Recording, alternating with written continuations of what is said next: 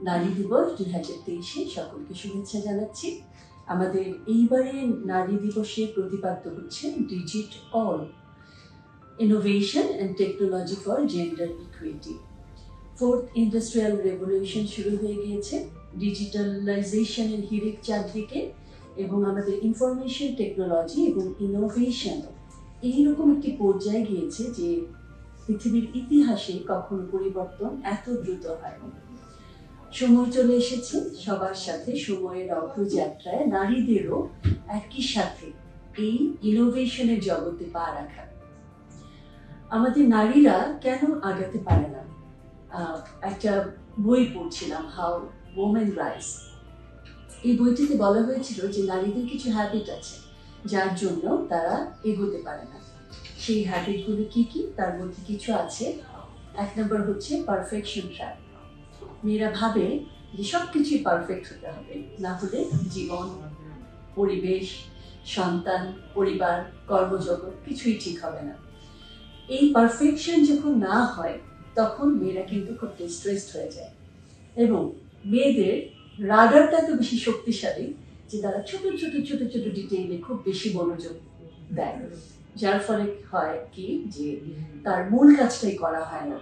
এবং তারা জবের জবটাকে এত বেশি প্রেফারেন্স দেয় যে তাদের ক্যারিয়ারটা অনেক সময় হারিয়ে যায়। তো এই যে কিছু জিনিস আছে এবং মেয়েদের ভেতর আরেকটা ব্যাপার আছে, যেমন সেটা হচ্ছে যে অন্যকে প্লিজ করার একটা প্রবণতা, অন্য কি বলেছে, তার উপর খুব বেশি ফোকাস করা। সেই প্লিজিং করতে গিয়ে অনেক সময় মেয়েরা নিজেদের স্বকীয়তা স্বাতন্ত্র্য এবং ব্যক্তিত্ব হারিয়ে ফেলে। তারপরে রয়েছে কিছু টেন্ডেন্সি যে অন্যের জন্য স্পেস করে দাও এই যে স্পেস করতে করতে স্পেস দিতে দিতে তার নিজের স্পেসটা কিন্তু হারিয়ে যায়। এ বউ ওর, বা এই কথাগুলি বলতে বলতে সে একসময় তার নিজের নামটা পর্যন্ত হারিয়ে ফেলে। তো এই যে ছোট ছোট জিনিস, দেখা যায় যে যারা কর্পোরেট থেকে বা অর্গানাইজেশনে কাজ করেন, তাদের কাছে, মেয়েদের কাছে সাকসেস কিন্তু আমরা মানে কর্পোরেট জগতের যে সাকসেস সেটা থেকে অন্যরকম। সেটা মানি এবং মানি এবং পজিশনের চেয়ে অন্য কিছু। তারা দেখে যে অর্গানাইজেশন কত ভালো রান করছে।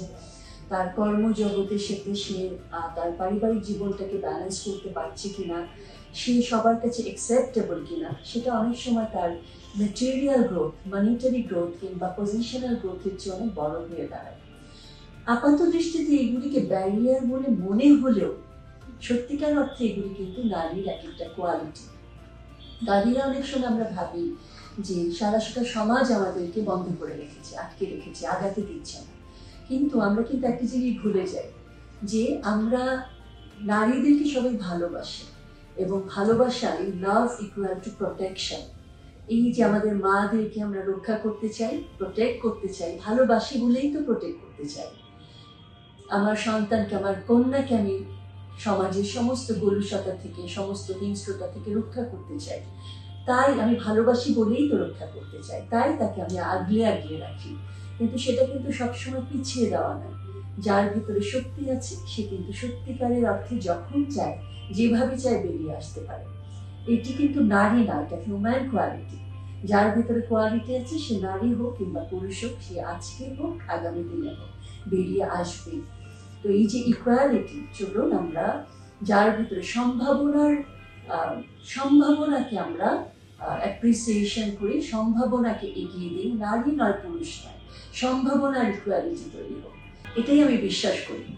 যে সম্ভাবনাকে যদি আমরা এগিয়ে দিতে পারি, নারী কিংবা পুরুষ হোক সেখানে আমাদের ইকুয়ালিটি লুকিয়ে আছে। সকলকে ধন্যবাদ।